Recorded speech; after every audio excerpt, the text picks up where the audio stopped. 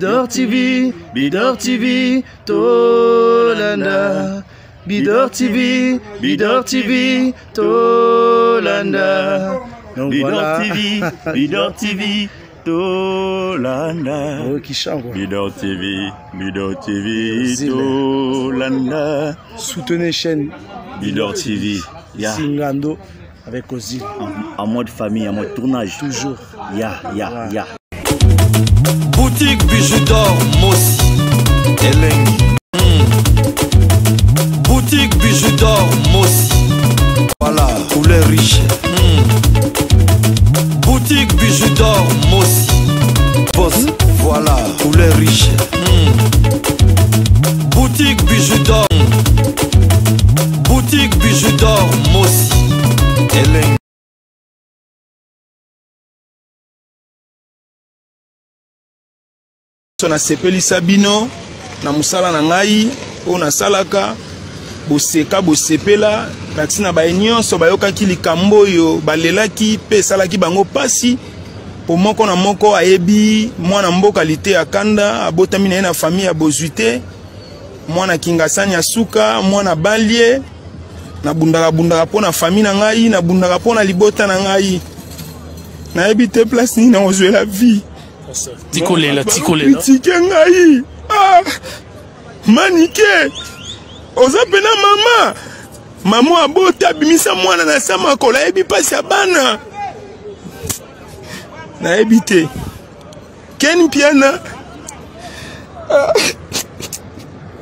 pasa tikolela pasa pasa eza voyage ya sentiment te eza voyage ya sentiment te eza voyage ya koluka vie kobokola libota na fami na nga moto ya mbongo aza te na fami na nga mokonzi aza te na fami na nga moto azwa passeport diplomatique aza te nga nde passeport diplomatique ya vi na ngai ya fami na ngai nga nde fami na ngai etyela motema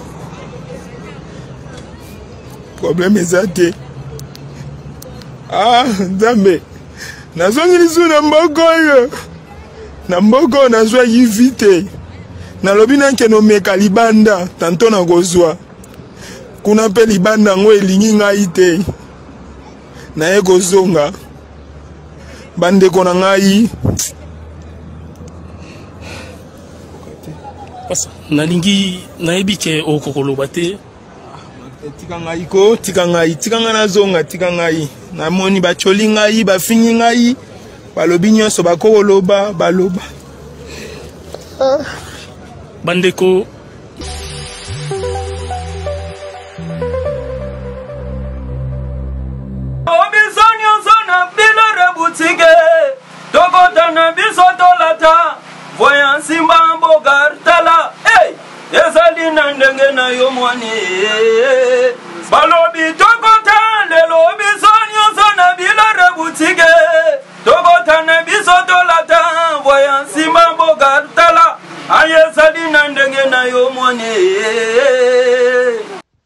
Sika eye eye na kati ya matonge maison de passage na biso maison de passage na biso ya ngoyo maison de passage na biso eza na ba climatiseur ezali climatise maison de passage na biso eza na matonge na irebu a 37 maison de passage na biso toza na ba appartement oyo ezali ya deux chambres salon cuisine Tout les deux chambre wana eza na ba toilettes na kati. Maison de passage na biso tozali na appartement oyo ezali kaka salon, salon, salle de bain, chambre na cuisine. Tozali lisusu na appartement na biso oyo ezali appartement ya pamba lokola Chambre na toilette. Toilette na yo donc salle de bain na yo na kati. Chambre oyo ezali ya pamba oyo eza kaka na salle de bain okoyamba bapaya na yo na kati. Chambre oyo ezali chambre salon cuisine. Salon ezali ya monene comme okoki koyamba bapaya na yo na kati comme okoki koyamba bapaya na yo libanda. Mai na biso ebimaka kitoko.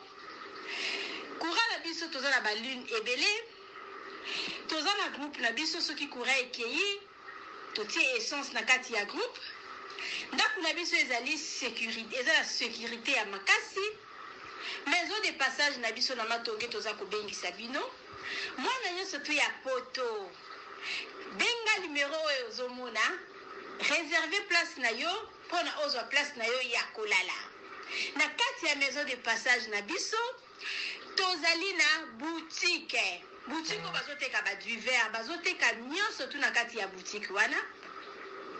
Tozali lisusu na nini?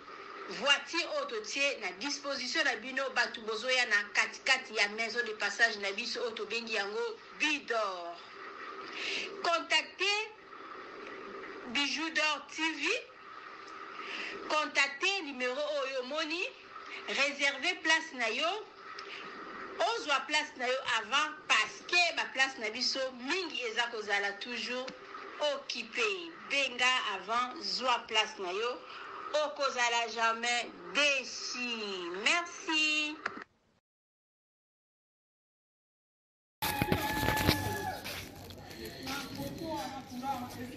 Salut, salut, j'espère que vous allez bien. En fait, euh, c'est plus pour, euh, pour les diasporas. C'est donc qui veulent... Euh, passer l'air séjour ici à Kinshasa. Alors pour tous vos déplacements, il y a une voiture à louer qui est là, marque Hyundai. La voiture elle est confortable, donc euh, climatisée et tout et tout. Donc euh, la voiture répond vraiment aux normes. Alors euh, pour tout contact, veuillez contacter Bidor TV au numéro qui suit, plus 49 17 85 52 23 11. Donc je réponds pour une meilleure compréhension.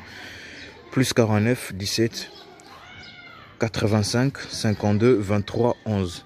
Donc euh, la voiture elle est là, marque Hyundai. Donc euh, voilà. Donc euh, ici nous sommes à Kinshasa. Donc pour tous les diasporas, pendant tous vos séjours à Kinshasa, voilà la voiture elle est là pour vos déplacements et tout et tout. Donc partout où vous voulez y aller, la voiture elle est là.